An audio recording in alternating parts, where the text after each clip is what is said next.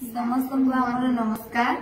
ସୃଷ୍ଟି ଆରମ୍ଭରୁ ସୂର୍ଯ୍ୟ ଏବଂ ସୂର୍ଯ୍ୟାୟିତ ଜୀବନ। ଉଭୟ ଅବିରତ କ୍ରିୟାଶୀଳ। ପାଞ୍ଚ ହଜାର ବର୍ଷ ତଳର ଆମ ଜୀବନ ତାଠାରୁ ପୁରୁଣା ଏହି ପୃଥିବୀ। ଯେମିତି ଗୋଟେ ଗୋଟେ ଭୀମକାନ୍ତ ବରଫ ସ୍ତୂପ ଯେତିକି ଦୃଶ୍ୟମାନ ତାଠାରୁ ଆହୁରି ଅଦୃଶ୍ୟ ଆହୁରି ଅଜ୍ଞାତ। ସୃଷ୍ଟିର ଏହି ଅନୁଦ୍ଘାଟିତ ରହସ୍ୟକୁ ଅନୁଭବିବାରେ ଜାଗ୍ରତ ମାନସ ସଦା ଚଞ୍ଚଳ। ଯେହେତୁ ଜୀବନ ଗତିଶୀଳ ତେଣୁ ଗତାନୁଗତିକତାର ନିଷ୍ଠୁର ପଞ୍ଜୁରୀରେ ରୁଦ୍ଧ ଶ୍ୱାସ ହୋଇ ସେ କରେ କ୍ରାନ୍ତିର ଆବାହନ। ଶୈକ୍ଷିକ ବିପ୍ଳବରେ ଅକାଳରେ ଅବକ୍ଷୟ ଘଟାଇଥିବା ଅଶିକ୍ଷା ଓ ଅପସଂସ୍କୃତି ପିଠିରେ ପୁନଃ ପୁନଃ ପଦାଘାତ କରି ସେ ଅପେକ୍ଷା ରଖେ ସତେ କଣ? ଆଗାମୀକାଲିର ଆକାଶର ସିଲଟରେ ପ୍ରତିଭାତ ହେବ ଏକ ପ୍ରଜ୍ଞାଦୀପ୍ତ ସ୍ୱର୍ଣ୍ଣ ଉଜ୍ଜଳ ଅଂଶୁମାନ ଯାହାର କରସ୍ପର୍ଶରେ ଜୀବନ ହେବ ସ୍ୱଚ୍ଛନ୍ଦ ସୁଖପ୍ରଦ ସକଳ ସୃଷ୍ଟି ହେବ ଶାଶ୍ୱତ ସୁନ୍ଦର। ଗୋବିନ୍ଦ ଚନ୍ଦ୍ର ଦେବ ଜିଲ୍ଲା ଉଚ୍ଚ ବିଦ୍ୟାଳୟ ରାୟଗଡ଼। ଉଣେଇଶହ ଅଠତିରିଶ ମସିହାର ଏକ ପାବନ ଲଗ୍ନରେ ତତ୍କାଳୀନ ଜିଲ୍ଲା ବୋର୍ଡ ଦ୍ୱାରା ଅଷ୍ଟମ ଶ୍ରେଣୀ ପ୍ରାରମ୍ଭରୁ ଶିକ୍ଷାଦାନ ବ୍ୟବସ୍ଥା ଥାଇ ଏହି ଉଚ୍ଚ ବିଦ୍ୟାଳୟ ଜ୍ଞାନ ଜ୍ୟୋତିର ପ୍ରଦୀପ ଜାଳି ଜନ୍ମ ନିଏ। ଉତ୍କଳ ବିଶ୍ୱବିଦ୍ୟାଳୟ ଦ୍ୱାରା ପରିଚାଳିତ ଏକାଦଶ ଶ୍ରେଣୀ ପରୀକ୍ଷାରେ ବିଦ୍ୟାଳୟର ପହିଲି ଦଳ ଉଣେଇଶହ ଛୟାଳିଶ ସତଚାଳିଶ ମସିହାରେ ପରୀକ୍ଷା ଦିଅନ୍ତି। ନବୋଦିତ ଶିଶୁ ଅନୁଷ୍ଠାନକୁ ସ୍ୱୀକୃତି ଦେଇ ଜିଲ୍ଲା ବିଦ୍ୟାଳୟର ମାନ୍ୟତା ଦିଅନ୍ତି।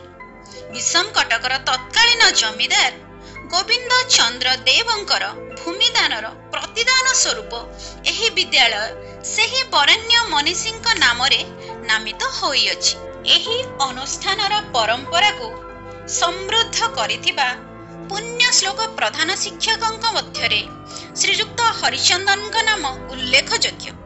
ଅନୁଷ୍ଠାନର ଯେଉଁ କୃତି ସନ୍ତାନମାନେ ପ୍ରାଦେଶିକ ତଥା ଜାତୀୟ ସ୍ତରରେ ଏହି ବିଦ୍ୟାଳୟର ଗାରିମାକୁ ଉନ୍ନୀତ କରିଛନ୍ତି ସେମାନଙ୍କ ମଧ୍ୟରେ ସ୍ୱର୍ଗତ ରାଧାକୃଷ୍ଣ ପାତ୍ର ମୁଖ୍ୟ ବିଚାରପତି ପୂର୍ବତନ ମନ୍ତ୍ରୀ ସ୍ୱର୍ଗତ ରାମଚନ୍ଦ୍ର ଉଲ୍ଲାକା ଶ୍ରୀଯୁକ୍ତ ଡମ୍ବୁରୁଧର ଉଲ୍ଲାକା ଓ ପୂର୍ବତନ ମନ୍ତ୍ରୀ ସ୍ୱର୍ଗତ ହରିଶ୍ଚନ୍ଦ୍ର ବକ୍ସିପାତ୍ରଙ୍କ ନାମ ପ୍ରଣିଧାନ ଯୋଗ୍ୟ। ଏତଦ୍ବ୍ୟତୀତ ଏହି ବିଦ୍ୟାଳୟର କେତେକ ମେଧାବୀ ଛାତ୍ର ଜାତୀୟ ତଥା ଆନ୍ତର୍ଜାତୀୟ ସ୍ତରରେ କରିଥିବା କୃତିତ୍ୱ ଉଲ୍ଲେଖନୀୟ। ସେମାନଙ୍କ ମଧ୍ୟରେ Shriyukta V.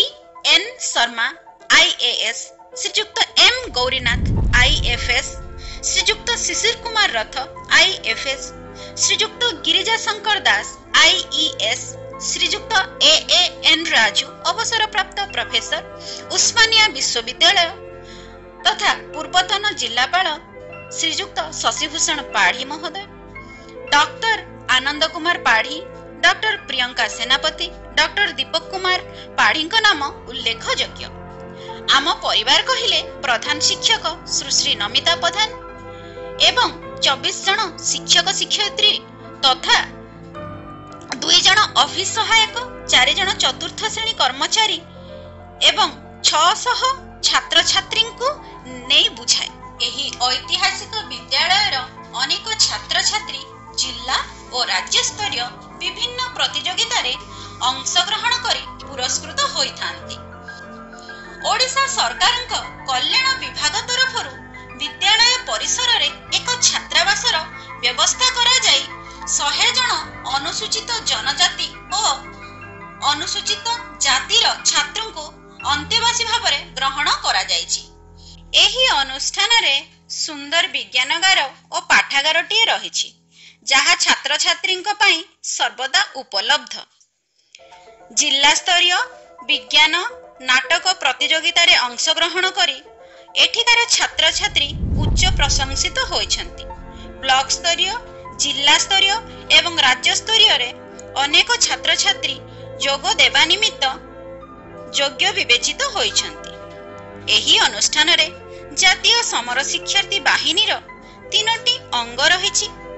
ଶିକ୍ଷକ ଶ୍ରୀ ସୁନୀଲ ମହନ୍ତ ବାୟୁସେନା ବିଭାଗର ବାହିନୀର ଅଧିକାରୀ ଶ୍ରୀ ମାଝୀ ସବର ପଦାତିକ ବାହିନୀ ଏବଂ ଶ୍ରୀମତୀ ପ୍ରମିଳା ମହାପାତ୍ର ପଦାତିକ ବାହିନୀ ବାଳିକା ବିଭାଗ ଦାୟିତ୍ୱରେ ରହିଛନ୍ତି।